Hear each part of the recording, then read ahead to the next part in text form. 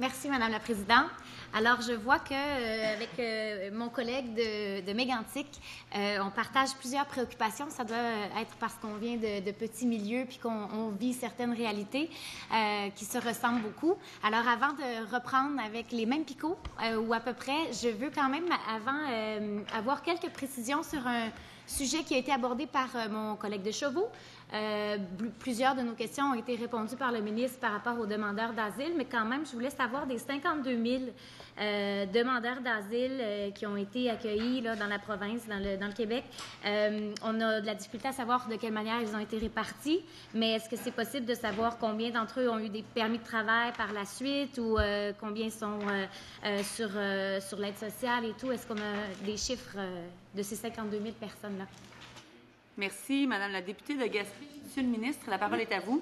Pour les permis de travail, dans le fond, c'est le gouvernement fédéral qui octroie les permis de travail. C'est l'équivalent des permis de travail euh, temporaires.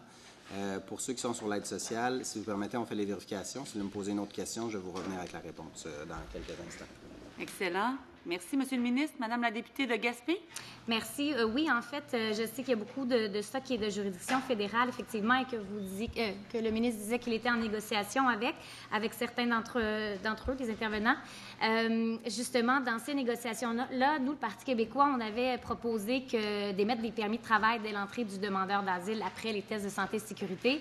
On sait que ça prend un décret du ministre fédéral pour se faire, mais on se demande où c'en est dans les négociations à ce niveau-là. Merci, Madame la députée de Gaspé.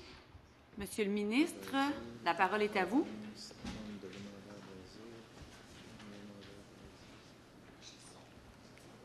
Est-ce que la députée de Gaspé désire poursuivre Oui, ou, ben- Monsieur le ministre, vous prenez la parole? Oui, en fait, euh, actuellement, c'est le fédéral qui émet le permis de travail, mais on est en train de faire les vérifications relativement euh, au délai de traitement pour qu'ils puissent obtenir leur permis de travail euh, fédéral. Donc, euh, laissez-nous quelques instants de temps de vérification. Excellent. Merci, Monsieur le ministre. Madame la députée de Gaspé, poursuivez.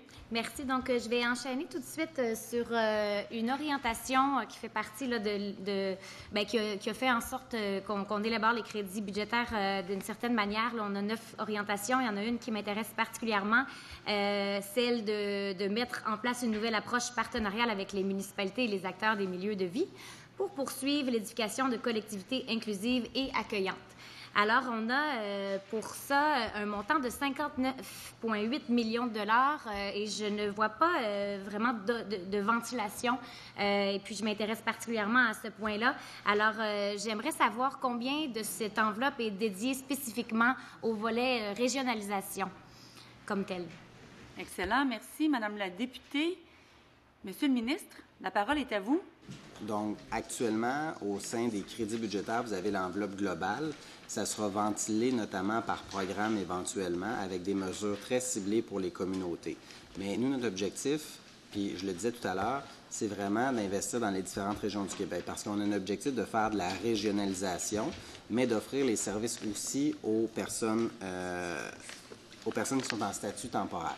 Donc, ça signifie, supposons qu'en Gaspésie, il y aurait des travailleurs temporaires qui occuperaient des emplois, bien, on veut déployer des ressources avec les municipalités, avec les employeurs, puis c'est ça que ça nous invite à faire le projet de loi 9. Donc, euh, éventuellement, on va pouvoir annoncer comment ça va se déployer. Mais c'est sûr que les axes d'intervention qu'on a, c'est francisation, intégration, accompagnement en emploi. Puis là-dessus, je vais travailler avec le ministre du Travail là-dessus parce que eux, ils ont des, euh, des partenaires dans Service Québec, donc dans les différentes régions. Mais déjà en Gaspésie, je sais qu'on a euh, quelqu'un qui est là présentement euh, dans, le bureau de Gaspé. Euh, mais nous, notre objectif, c'est de bonifier l'accompagnement dans les différentes régions du Québec. Donc, nécessairement, on va investir dans les régions pour être sûr d'amener des gens en région. Excellent. Merci, Monsieur le ministre. Madame la députée? Donc, vous avez dit qu'éventuellement, vous annoncerez euh, exactement comment ce sera ventilé. Est-ce qu'on peut avoir une idée de quand? Et euh, sans pouvoir avoir les chiffres, est-ce qu'on peut avoir au moins un peu euh, le pourcentage en termes de proportion de ce que représente euh, le volet régionalisation sur l'ensemble du 482 millions euh, dédiés à l'immigration? Merci, Madame la députée. On revient avec euh, votre réponse sur la répartition régionale du 482 millions. Pour ce qui est du nombre de... Je reviens à votre question originale pour le nombre de permis de travail euh, fédéral qui ont été émis. Euh, pour les années 17, 18, 19, on aurait du fédéral environ 12 000 permis de travail qui auraient été émis. Donc, il faut comprendre que parmi les demandeurs d'asile qui viennent, qui franchissent la frontière, c'est pas uniquement des gens en âge de travailler. Donc, le fédéral émet des permis de travail. Donc, en janvier 2019, on a 917 adultes qui bénéficiaient de l'aide sociale pour, pour l'ensemble du territoire québécois. Oui, c'est ça. Juste pour janvier?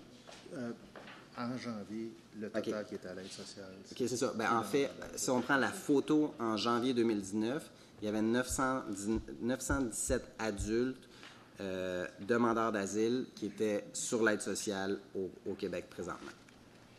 Merci. Merci, Monsieur le ministre. Est-ce que ça répond aussi à votre autre question, Madame la députée de Gaspé? Bon, je peux continuer en attendant. La députée de Gaspé va poursuivre avec ses questions. Oui, Monsieur le ministre. Sur, ils sont pas, les sommes ne sont pas encore réparties par région. Ça va être dans le plan qu'on va, on va vous présenter au courant des prochaines semaines, des prochains mois. Mais sachez qu'on a une très grande sensibilité d'amener l'argent en région, notamment par le fait qu'il y a beaucoup d'emplois qui sont disponibles là-bas versus l'attractivité de Montréal aussi. Donc, nous, on est dans une optique de régionalisation de l'immigration. Merci, Monsieur le ministre. Madame la députée, oui? Oui, j'ai quelques messages aussi à lancer pour pas juste vous faire travailler sur les chiffres. Je sais que c'est un gros exercice. vous parliez de l'attractivité. Oui, le ministre parlait de l'attractivité à Montréal, justement, parlons-en. nous, ce qu'on, ce qu'on remarque, les organismes de mon comté, oui, on, est d'accord qu'il y a une pénurie de main-d'œuvre au Québec, mais il y a aussi une mauvaise répartition des, des, nouveaux arrivants dans l'ensemble du Québec. Alors, on sait que beaucoup, les, nouveaux arrivants, malheureusement, passent toujours par les grands centres avant d'être déployés dans les régions, ce qu'on déplore, ce qui est un problème majeur. Et puis, euh, ben, avant que ça puisse être réglé, cette problématique-là, on aimerait savoir, est-ce que vous avez, est-ce que le ministère prévoit mieux outiller euh, les grands centres, les bureaux, les organismes pour faire la promotion des emplois qui sont disponibles dans les régions autres que les, les grands, que la, métropole, la capitale et les autres grandes villes? Merci, Madame la députée de Gaspé. Monsieur le ministre? Oui, mais là, ça rejoint les questions que les collègues ont, présentées tout à l'heure. Une des difficultés qu'on avait auparavant, là, supposons avec l'ancien système, le PRTQ, c'est que les gens étaient premier arrivé, premier servi, et souvent se retrouvaient dans une situation où ils s'établissaient à Montréal. Nous, ce qu'on veut faire avec le système ARIMA, c'est de faire en sorte que lorsque les gens vont avoir une offre d'emploi validée en région, ils vont pouvoir passer en priorité. On va les inviter en priorité. Donc, exemple, j'ai un emploi à Gaspé qui est garanti. Donc, on va pouvoir émettre un décret pour dire, bon, ben, on vise, supposons, la Gaspésie. On s'assure de combler les postes en Gaspésie. Donc, on a un maillage entre l'employeur et la personne migrante qui décide d'aller en Gaspésie. Ça, c'est exemple au niveau des travailleurs, au niveau de l'immigration permanente. Tout à l'heure, je répondais à la question du député de Laurier-Dorion sur les travailleurs temporaires. Les travailleurs temporaires, eux, peuvent être, euh, euh, euh, liés à un employeur pendant une période de deux ou trois ans. Ça aussi, ça peut être une bonne solution pour les différentes régions parce que quand vous passez deux ou trois ans dans une région, bien, nécessairement, vous allez vous développer un milieu de vie, une famille, des amis, tout ça. Donc, vous allez, lorsque vous allez passer vers l'immigration permanente, supposons par le PEC parce que vous avez appris le français, puis vous, avez, êtes intégré, bien, ça va être plus facile de demeurer en Gaspésie, dans le fond, lorsque on, a les pieds les pieds attachés dans une région, on, aime la région, on vit avec les gens, mais il y a plus de facteurs de rétention qui sont là. Donc moi, je vois ça comme ça. Euh, c'est pas Montréal versus les régions, c'est juste qu'il faut amener les gens directement en région parce que c'est sûr, si on passe par Montréal avant, l'historique démontre qu'on reste davantage à Montréal. Merci, Monsieur le ministre. Madame la députée de Gaspé? Euh, ben, c'est parfait parce que ça enchaîne justement sur. Euh, les, réponses du ministre euh, me, permettent de renchérir sur d'autres sujets. Euh, il y a également une problématique qui touche, je suis certaine, plusieurs régions.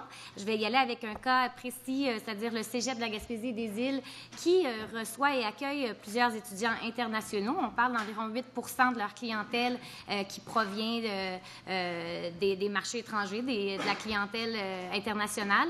Et puis, il y a eu une mesure qui a été implantée à partir d'octobre, je crois, qui fait qu'un étudiant euh, étranger ne peut plus déposer une demande de résidence permanente avant d'avoir obtenu son diplôme. chez nous, ce que ça représente, c'est qu'on a des étudiants qui sont en double diplomation, qui ont un diplôme dans, leur, dans leur pays et puis qui peuvent venir faire un an au cégep pour pouvoir obtenir un diplôme qui est reconnu ici.